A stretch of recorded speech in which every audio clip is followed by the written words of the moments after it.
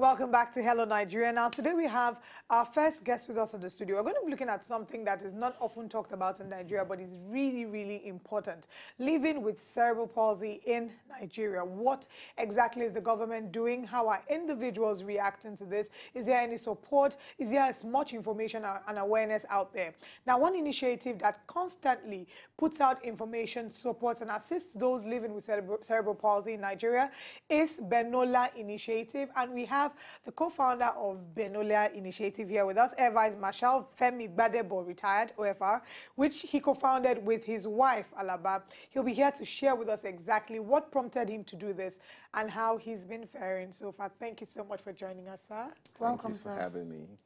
All right, so um, founding, you know, starting your initiative, it's, it's good to hear these stories again. You know, it's, it's a reminder of the fact that nothing, no pain ever goes to waste. You find your purpose in different ways. Yes. I've heard this story before, but I'd definitely yeah. like to hear it again. So tell us about the origin of Benola Initiative. Well, I have a son who's 22 years old now, but um, uh, he was born when I was still serving, and for 12 years I was on the road, and my wife virtually managed him alone in Nigeria and for a couple of years in the UK.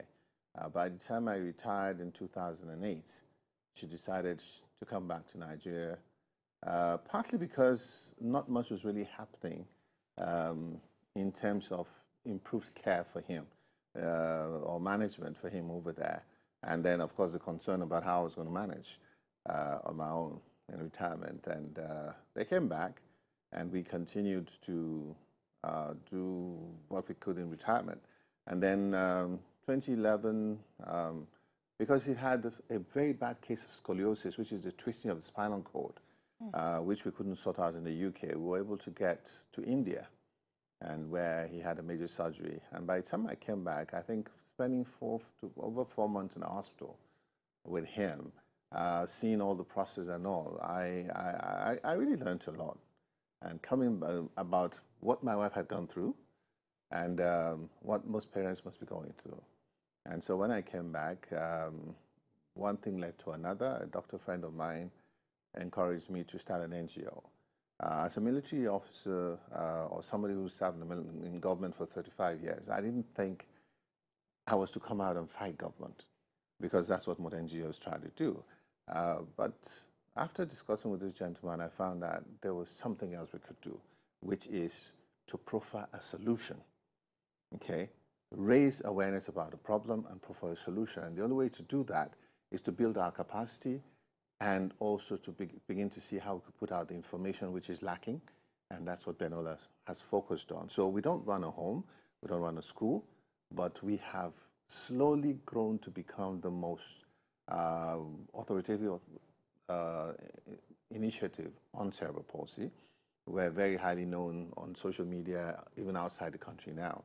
And a lot of people really appreciate what we're pushing, which is knowledge and uh, also acceptance. Hmm.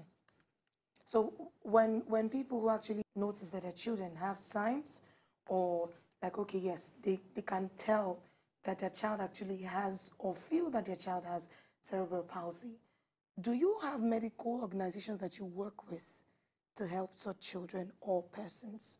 Well, I'll say that um, I'm not a medical doctor, and I try, I mean, I always insist that parents who contact us understand that we're not into treatment.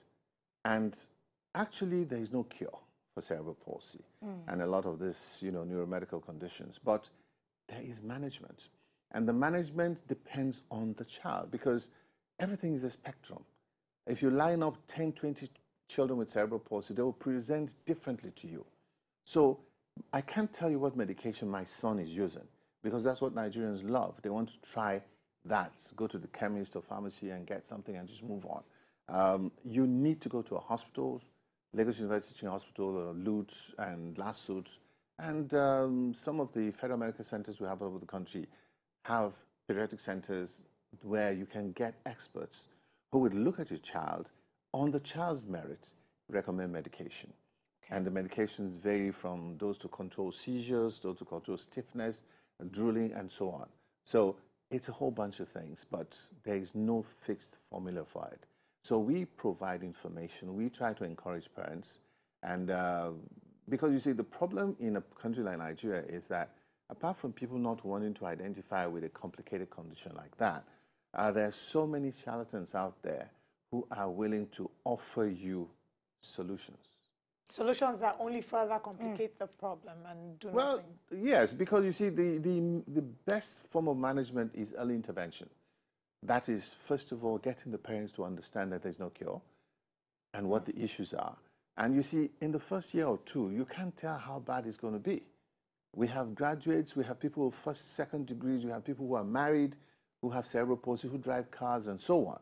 And you have cases like mine, who at 22 can do nothing for himself. Okay? Uh, that, and then because my son has received a lot of care, my mom, his mom has been wonderful. Uh, she's an authority in her right in all kinds of things, you know, medication and all that. But you find that some of them have serious issue with stiffness. And because they've not received this, the proper kind of medication and therapy, uh, which is physiotherapy and all that, um, if you see some of them by the time they're 12, 13, 15 years old, their body, they've gone into all kinds of very nasty body contortions, twisted spines, uh, twisted arms and legs, uh, and so on. Um, they may, they're not necessarily a good sight to look at if you've not cared for them well, which is why you don't see a lot of CP cases. And even when you talk to some parents and you tell them to, to go to some homes and they see some pictures, they tell you, no, no, no, that's not what my child has. Your child has CP. I've met people at 35 who didn't even know they have cerebral palsy, okay? Because it is mild and it affects maybe just one part of the body where they could speak, they could manage. So it's like maybe they have polio or also, or maybe they had so an accident. Basically, there are different mm. levels mm. to CP. Yes. Let's look at 22 years after, and you and your wife have done a great job, you know, adjusting and finding a way around this. But 22 years ago, that was not the case. At the point where your wife just had a baby and you found out that your baby had cerebral palsy, how did you react, you and your oh, wife? Well, first of all, um, but we never had that name before. Um, and I'll tell you, it took me a couple of years to be able to pronounce it. I pronounce it very well now. But it's like, you know, you're trying to figure out what is this? And, um, you know, you live in denial. And of course, you get from the doctors and even older parents, there's always a hope because you see, doctors, like I said, in the first two years can't tell you how bad it's going to be. And the chances are that some children will get stronger and be able to at least get to the mild side of it. And so everybody's hoping that things will get better. You know, it's like the child, first of all, can't hold the neck steady, uh, is drooling, has seizures, all those kind of things that people hope they'll outgrow. And by the time you get the right expert's attention, then you realize that there's no cure to it. Um, then you can focus on care. But when you meet parents who continue to five, ten years, keep hoping, and I get people asking when they call, a lot of people, um, they can be very nasty. All they, they don't even introduce themselves hey, I have a child with cerebral palsy, what can you do for me? And he's like, excuse me. You could even introduce yourself. You could even say where you're calling from. Because it's, it's not what I can do for you in terms of your child. I tell people, Benola now is about you, the parent. We need to get you to understand is that about changing the mindset, about accepting that God has given you this child the way the child is. And the child is going to get you know, better, but not as much as you expect.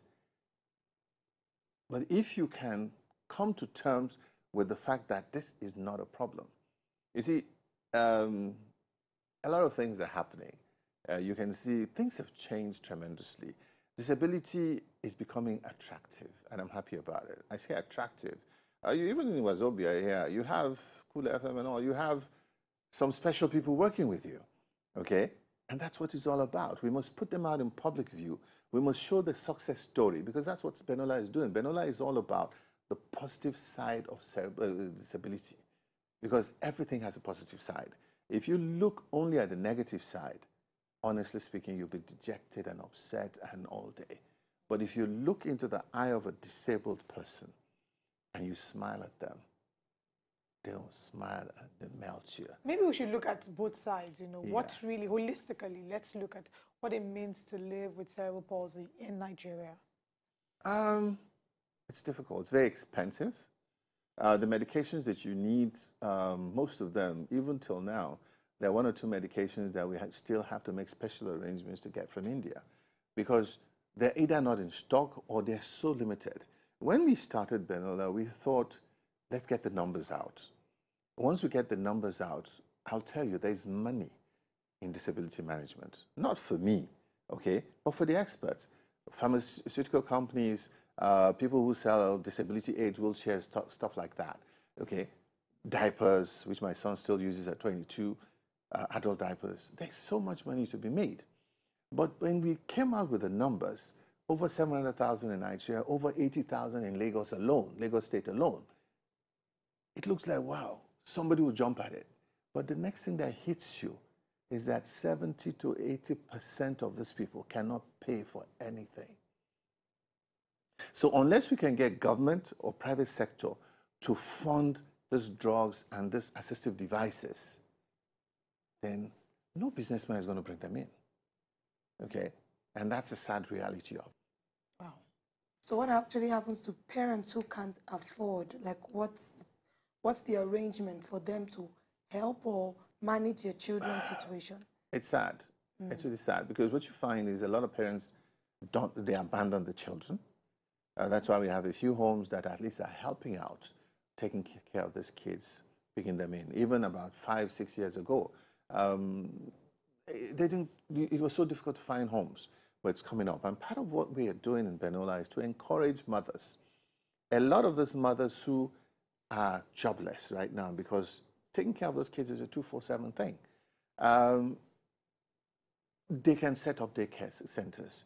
They can start one kind of facility or the other around their child, whether the child is two years, five years, 15 years old, or whatever.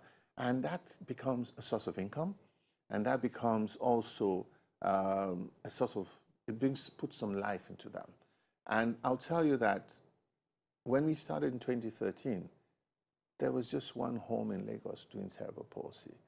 But now, it's amazing. I can tell you from Agbara to Umuahia to Jos to Oshogbo to even just the, on the 2nd of January, one woman who had been following me for a while from Bida sent me a flyer. She started a home.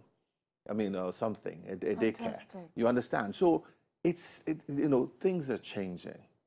And we're looking for more mothers to understand this. The sad thing is that the fathers are not supporting. A lot of fathers are just not there. They either abandon the women or just tolerate them and spend all day at work and at play and they're hardly there at home. Or, or, maybe even blame the women and say if you had lived healthier lifestyle choices, maybe you wouldn't have had a child like this. Yeah, have you ever experienced yeah, situations it's, it's, like that? It's not, that's why most of them, I'll tell you, most of the women who have CP children, uh, I'd say more than 70% are single mothers mm -hmm. because the fathers have left. Okay? And when these women have no job or they can't leave the house or do, go to the market to do one or two things, you can imagine the income level of that family. It's really terrible. So um, you see, the, the, the, men have their issues. Their ego is battered. Um, you feel that you have failed as a man because your child is not up to scratch.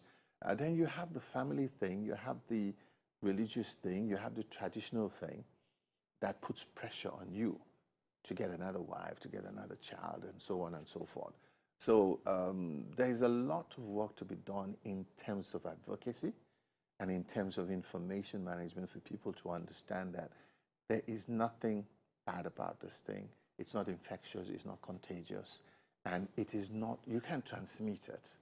So we've also had a lot of women who, of couples who've not had a second child for years. I mean, last year, some gentleman out of the blues, suddenly just called me up and said should, he wanted me to come for naming ceremony. I'm the other side of town. And I thought, what is going on? I thought, okay, let me accept. And the next thing, he called me to say his wife wanted to thank me because I was coming for a naming ceremony. And then he explained, you know, they have had a child, 14-year-old boy with cerebral palsy, who could actually walk and do one or two things, but they just couldn't get together to have a second child until maybe they started reading some of the things we're putting out and all, and they give it a try. And they ended up with twins, a boy and a girl, perfectly normal. Wow. wow. So he had a big party in uh, Abule Egba part of town and so on. So it's like the, there is a lot that people really need to understand. Okay, but just quickly tell us what are the positive things about people or kids with CP?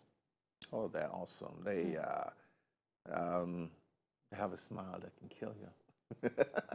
um, you take care of them, and you will get nothing but just love coming out of them. Because you see, they, they have a tolerance for pain, and they are totally oblivious of anything. So it's um, like I said, it's it, the, the problem I've, I've come to find actually are with the ones that are not that bad off, those ones that are able to speak, those ones that have been able to go to school. Society has treated them so badly that, um, and you'll find with with some disabled people that when you try to get close to them, um, you you know they look, they're, they're more self-centered than you would expect and they, they are more likely to try to use you because everybody else has treated them badly. So the society has to change for things to really work well. Very true. Thank you so much for joining us and for sharing your story. And thank you for all the work that you do with Benola Initiative. Indeed, cerebral palsy is not a death sentence. There are people who are living absolutely amazing and impactful lives with this. We also have Tobiloba Ajayi, who is a lawyer, and she's one who's living with CP as well, but she's gone on to become a lawyer. So if you have any questions, you know, comments, contributions with regards to people living with CP, or you know someone who is, Benola Initiative is the foundation to contact. How can people reach you? We are on social media. We, on, we have a website that okay. has loads of information. Brilliant. Um, just Google Benola.